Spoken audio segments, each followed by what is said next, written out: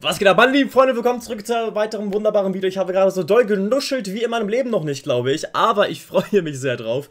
Wir schauen uns heute das Interview von Nova an. Dann haben wir morgen also noch das Interview von Knossi, worauf ich mich auch sehr freue. Und äh, dann ähm, war es das schon mit Seven vs. Wild. Ich habe uns, äh, ich hab, wir haben uns dann noch alles zusammen angesehen, was es gab. Es gab eine kleine Verspätung auch bei mir, es tut mir leid. Aber ich finde gut, dass wir alles, alles noch äh, zusammen ansehen konnten, durchgezogen haben. Und ich freue mich sehr drauf. Ich bin sehr gespannt, was Nova sagt. Ich glaube, sie ist ein bisschen traurig, dass sie nicht weitergekommen ist, aber so oder so ähm, kann sie, das habe ich auch schon in den Folgen gesagt, auf ihre Leistung unfassbar stolz sein. Sie hat so durchgezogen, finde ich, und alles gegeben, das hat man gemerkt. Und wenn es nicht mehr geht, dann geht es eben nicht mehr, ja. Ähm, ich bin einfach stolz auf sie und freue mich drauf, äh, zu sehen, was sie zu sagen hat von dem Ganzen. Und ähm, ja, würde sagen, wir gehen rein. Und bevor es losgeht, entschuldigt bitte die schlechte laut. Audioqualität. Uns ist leider eine Datei kaputt gegangen, weswegen wir mit dieser Qualität Vorlieb nehmen müssen. Der Drop-Off war in dieser Staffel deutlich extremer. Erzähl uns bitte, wie der Tag für dich abgelaufen ist und wie du ihn wahrgenommen hast. Ja, ähm, Ach so, das geht doch voll. Ich habe jetzt mit so einer, mit so einer Krüppelqualität so gerechnet, aber das ist doch voll, völlig feine Quality. Ist doch völlig gut. Alles fein. sehr durchwachsen. Also wir sind ja angekommen, beziehungsweise mit dem Flugzeug hier auf die Insel geflogen. Und dann wurde uns ja auch beim Start sozusagen gesagt, ja, hat jemand irgendwie Seekrankheit, sonst irgendwie, will jemand eine Seekrankheit nehmen. Da war für uns halt schon klar, man hat natürlich als Teilnehmer hat man die super viel irgendwie so schon äh, probiert herauszufinden, okay, weil wir wussten ja gar nichts. Und dann haben wir aber ein bisschen gedacht, so, okay, vielleicht Helikopter, vielleicht so. Und dann durch die Seekrankheit waren wir halt so, ja, okay, es ist wie Nächste Staffel einfach mit U-Boot oder Rakete abgeworfen. Staffel 1, äh, wir fahren mit dem Boot raus, jeder zieht sich nackt aus, packt seine Sachen in Dryback und dann die alle Abfahrt so. Ja, und dann äh, kommen wir da an mit dem Flugzeug. Dann stehen da drei Helikopter und dachten wir uns auch so. Ja, das war auf jeden Fall eine sehr große Überraschung. Und keiner wusste halt auch irgendwie so richtig, so, was jetzt genau passiert. Und dann wurden wir eingeteilt, sind hochgeflogen und ab da war man irgendwie einfach voll Tunnelblick in und da einfach also so bam. Man ist über die ganze Insel geflogen, unter allem so diese komplette grüne Hölle, so das war, das war richtig krass. Und dann diese, also das Adrenalin, ich meine, mein- wirklich mein Herz ging auch so richtig klopfend, als es dann hieß, ja, okay, spring jetzt raus. Junge, ich, ich hätte es nicht gepackt, glaube ich. Ich wäre da schon wir ohnmächtig geworden. unsere kompletten Klamotten an.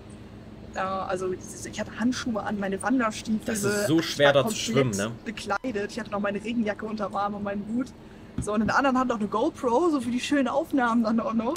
Und ja, bin da halt reingesprungen. Halt, also ich wusste halt gar nicht, was mich erwartet. Ich habe auch das eingeschätzt, dass ich so ganz andere Probleme haben werde vor Ort. Also beispielsweise Wassergewinnung, da habe ich mir übelst den Kopf drüber gemacht und so ja, eventuell Salzwasser destillieren, Plastikflaschen sammeln, sonst irgendwie was, so Kokosnusswasser. Ich hatte mein, äh, mein Wasserfilter ja auch dabei. Ja, und das war gar kein Problem. Also das, ich hatte glücklicherweise eine Süßwasserquelle, aber Ja. es war super spannend, weil einfach manche Probleme waren, über die man sich gar nicht Gedanken gemacht hat und dann andere Probleme, die man als so fast schon gelöst irgendwie erachtet, so die waren halt richtiger Struggle. Das ist das, was jeder irgendwie gesagt hat, ne? gerade auch Fritz zum Beispiel. Egal wie du dich vorbereitet, vorbereitet hast, es hat quasi nichts geholfen, weil alles einfach ganz anders war als gedacht. So, also es war.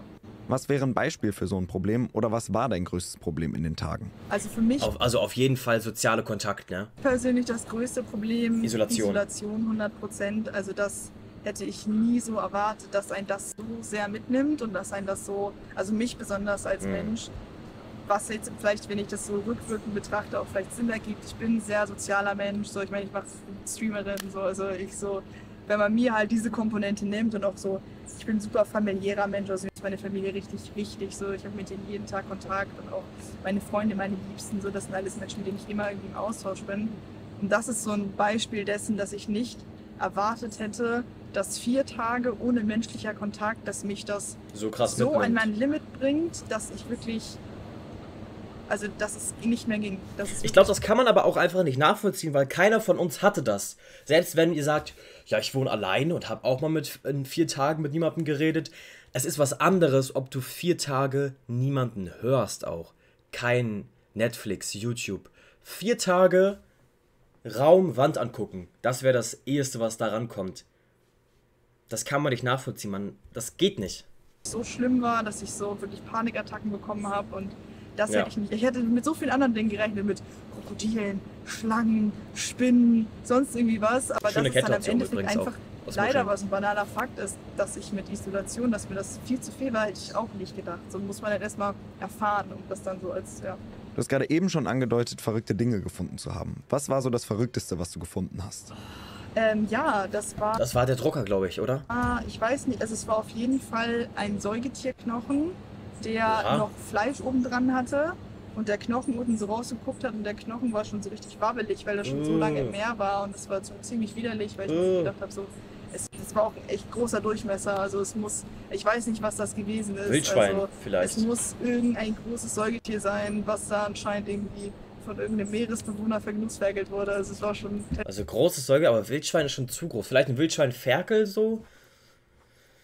War sonst großes Säugetier? Also halt, ähm, ja, weiß ich gar nicht, was es sonst so gibt. Das ist ja echt sehr widerlich.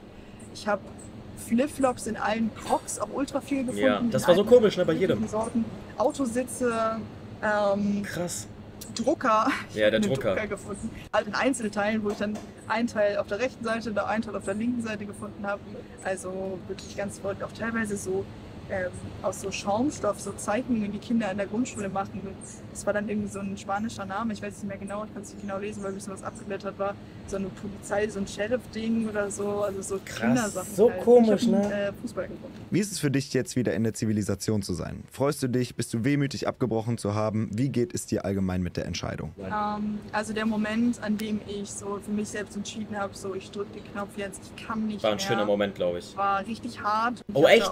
Ich dachte, das war so, also hart, klar, aber dann so sehr erleichternd, weil bei Sab- Sabrina meinte, dass das ein schöner Moment war für sie zum Beispiel, dass sie dachte, ah, okay, jetzt kann ich durchatmen, ich weiß, ich werde abgeholt morgen oder so, weißt du. Für sie war es eher schön, aber klar, bei Nova, sie hat halt auch gestruggelt, weil sie auch Angst hatte, was die Leute sagen, so ein bisschen vielleicht. klar geweint, weil ich so erleichtert war, aber andererseits auch Ja, okay. einfach war ich auch so enttäuscht irgendwie von mir selbst und war so, das ist doch jetzt nicht wahr und ich wollte halt diese sieben Tage so krass durchziehen und Mhm. war, für mich war das richtig schwer und ich war teilweise auch super enttäuscht von mir selbst super sauer.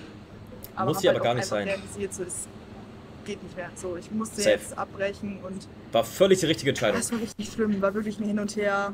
Ähm, aber ich bin umso dankbarer jetzt wieder. Also ich meine, ich bin keine Survival Queen. So, das ist nicht mein Content. Und ich habe mich trotzdem der Aufgabe gestellt und ich habe es trotzdem gemacht. Und klar, ich, ich bin jetzt nur zum vierten Tag gekommen. Aber ähm, ich glaube, dafür muss ich mich jetzt selber nicht irgendwie strafen oder da jetzt irgendwie äh, sauer auf mich sein. So, ich habe es versucht. So, Sie hat das- da halt sie hat hat so gut gemacht, finde ich. So, da war meine.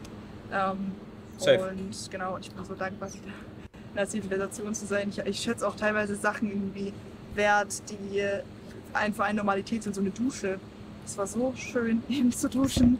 Das war, ich habe davon geträumt, dass ich duschen gehen darf. Also solche Sachen, so Kleinigkeiten einfach, die man einfach wertschätzt. Und Also ich glaube, Duschen war für jeden einfach big. Duschen war für jeden krass. für mich auch nochmal so, dass ich auch so dankbar bin, dass ich so ein liebes Umfeld habe, das äh, ich so gerne mag und die auch so mit mir mitgefiebert haben und so. Und ja, und dass ich nie wieder im Leben so lange äh, isoliert sein möchte.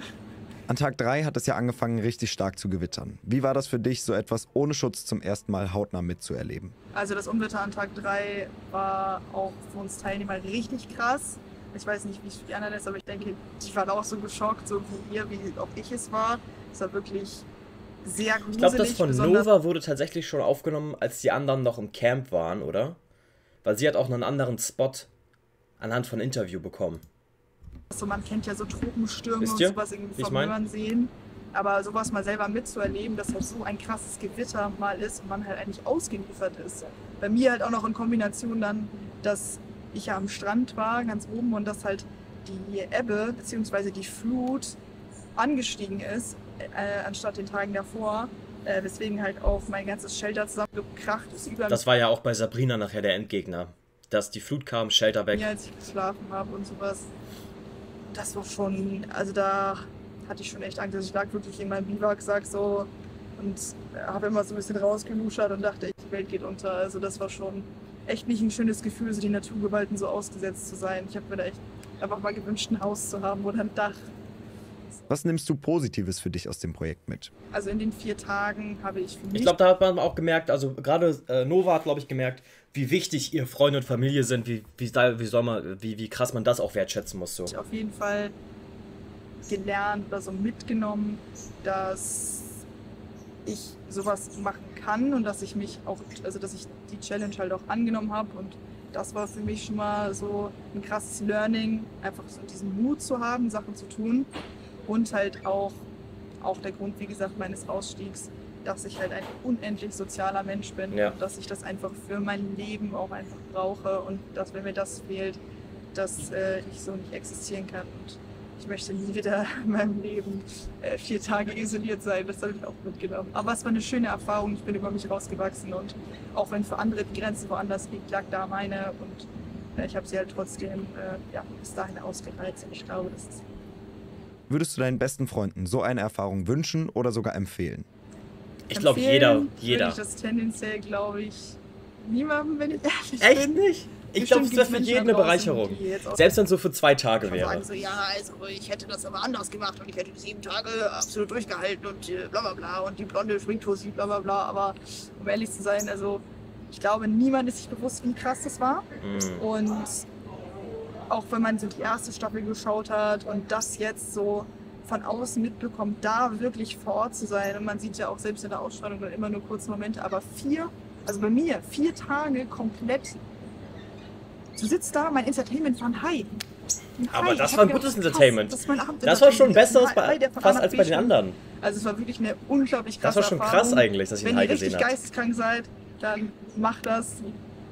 So, haut rein. Aber ich persönlich muss sagen. Ich erhalte eigentlich schon viel aus. Ja, aber trotzdem, es war toll, war spannend, aber so eine Empfehlung würde ich jetzt nicht aussprechen. Vielen Dank, herzlichen Glückwunsch ich für deine jedem Leistung empfehlen. und viel Spaß zurück in der Zivilisation. Danke euch. Endlich in den verdienten Feierabend. ich würde es, glaube ich, jedem empfehlen, aber ich war nicht da. Das ist vielleicht das Problem. Deswegen kann ich das vielleicht nicht so ganz beurteilen. Ähm, ey, es war schön, Nova nochmal so reden zu hören. Ich, sie, sie, hat auf jeden Fall ähm, gemerkt, glaube ich, dass sie auf ihre Leistung auch stolz sein kann, ja. Deswegen, ich bin super stolz auf sie.